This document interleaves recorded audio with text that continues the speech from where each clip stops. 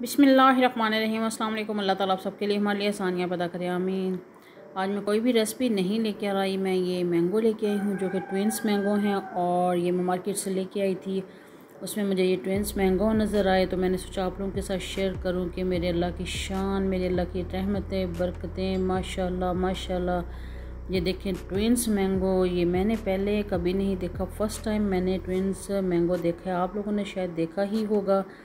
लेकिन मैंने ये फ़र्स्ट टाइम ट्विंस मैंगो देखा है तो मैंने सोचा कि आप लोगों के साथ शेयर करूँ। माशाल्लाह माशाल्लाह, मेरे अल्लाह ताला की रहमतें, बरकतें, शान।